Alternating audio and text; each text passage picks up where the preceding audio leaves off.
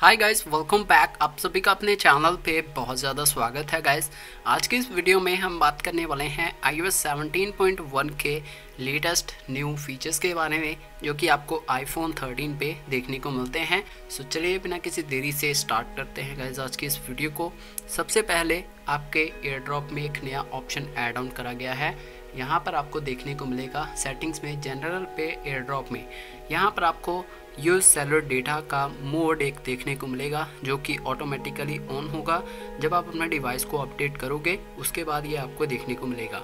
तो यहाँ पर आप देख सकते हो टॉप के ऊपर लिखा हुआ है आउट ऑफ़ रेंज अगर आप अपने ये ड्रॉप को एक आईफोन से दूसरे आईफोन में यूज़ कर हो फ़ाइल शेयरिंग कर रहे हो किसी लार्ज फ़ाइल को तो उस कंडीशन के ऊपर अगर आप आउट ऑफ़ रेंज हो जाते हो तो आप इस मोड को यूज़ कर सकते हो।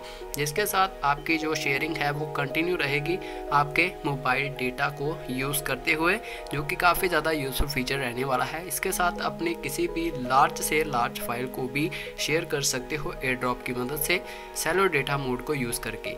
तो सेकेंडली जो फीचर एड ऑन करा गया है, वो है आपके स्टैंड बाई मोड में। स्टैंड बाई मोड में आपको एक नया डिस्प्ले का मोड देखने को मिलेगा। यहाँ पर तो डिस्प्ले का मोड यहाँ पर लिखा हुआ दिखाई दे रहा है बट जो आईफोन 14 प्रो और 15 प्रो सीरीज़ हैं, उनमें आपको एक डिस्प्ले का नया ऑप्शन देखने को मिलेगा। वो ऑप्शन आपको कुछ इस तरीके का देखने को मिलने वाला है डिस्प्ले तो डिस्प्ले के ऊपर टैप करने पर आपको यहाँ पर तीन ऑप्शंस देखने को मिलेंगी। ऑटोमेटिकली आफ्टर 20 सेकेंड्स और नेवर ये जो ऑप्शंस हैं, कैसे काम करने वाली हैं, अगर मान लो कि आपने अपने स्टैंड बाय मोड के ऊपर सेट कर रखा है अपने डिवाइस को, अगर आपको उसे बंद करना है अपनी स्क्रीन को तो आपको ऑटोमेटिकली आफ्टर 20 सेकेंड्स को सेलेक्ट करना है। तो ऑटोमेटिकली ये जो आपकी स्टैंड बाय मोड में स्क्रीन रहने वाली है अपने आईफोन की, वो ऑटोमेटिकली ऑफ़ हो जाएगी। अगर आप उसको बंद करना चाहते हो तो आपको नेवर के ऊपर सेट करना है। तो ये कुछ नए फीचर्स स्टैंड बाय मोड में आपको देखने को मिलने वाले हैं आईफोन 14 प्रो और 15 प्रो सीरीज़ में। उसके बाद बात आती है एक नए फीचर के बारे में, जो कि आपकी म्यूज़िक के एप्लीकेशन में ऐड ऑन करा गया है।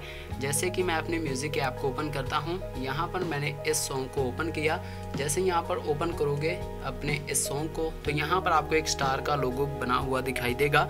जैसे मैं स्टार के लोगो के ऊपर टैप करता हूँ, आपको ये जो स्टार का लोगो है वो आपके इस सॉन्ग को फेवरेट्स में ऐड कर देता है। कुछ इस तरह का ऑप्शन आपको शो करेगा। जब आप इसके फीचर को पहली बार यूज़ करोगे तो ऐड टू योर फेवरेट्स इसके ऊपर टैप करने पर आप अपने म्यूज़िक को फेवरेट्स में ऐड कर सकते हो और अपने ट्रैक्स को फेवरेट्स में ऐड कर सकते हो। तो गैस यहाँ से आप अपनी प्लेलिस्ट को एडिट कर सकते हो। सिंपली आपको प्लेलिस्ट को क्रिएट करने के लिए यहाँ पर नेम एंटर करना है। कोई फ़ोटो सेट करनी है खुद से तो आप यहाँ से चूज़ फ़ोटोज़ के ऊपर टैप करके खुद से कोई भी फ़ोटो को सेट कर सकते हो। जैसे कि मैंने इस फ़ोटो को यहाँ पर लगाना है तो मेरे को जूम इन करना है। जो उसके ऊपर मैंने टैप किया और यहाँ पर इसका नेम एंटर कर दो और आप गुड टू गो हो। अपने प्लेलिस्ट को क्रिएट कर सकते हो और एडिट कर सकते हो आई वन के इस नए अपडेट में। साथ ही साथ लॉक स्क्रीन में भी आपको कुछ नए चेंजेस देखने को मिलेंगे। जैसे कि फ़ोटो शफल में एक नया एल्बम का ऑप्शन एड ऑन करा गया है। यहाँ पर आपको फ़ोटो शफल के ऊपर टैप करना है। यहाँ से आप स्पेसिफिक एल्बम को सिलेक्ट कर सकते हो। एल्बम के ऊपर टैप करो और यहाँ से आप जो भी एल्बम सेट करना चाहते हो, उस एल्बम को आपने सिंगल टैप करना है। एल्बम में जितनी भी फ़ोटोज़ होंगी वो आपकी यहाँ पर शफल फ्रिक्वेंसी चेंज कर सकते हो। टैप के ऊपर सेट करोगे तो बस आपको सिंगल टैप करना है और यूज़ के एल्बम के ऊपर टैप करो। और यहाँ पर सिंगल टैप करने पर आपकी ये जो फ़ोटोज़ हैं, वो यहाँ पर कुछ इस तरीके से चेंज होने वाली हैं। बस आपको इसे ऐड के ऊपर टैप कर देना है। सेट वॉलपेपर ऐसे पेयर करो और आप गुड टू गो हो अपने इन नए फीचर्स को यूज़ करने के लिए। तो ये कुछ नए फीचर्स आपको आई एस के नए स्टेबल अपडेट में देखने को मिलते हैं।